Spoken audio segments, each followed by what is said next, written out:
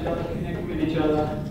And sometimes you can have so little, we can have so much, you have your culture, you have your friends, your family, your health, these kind of things. So we're just really happy to be here, celebrate, and just share a bit of good vibes with you guys.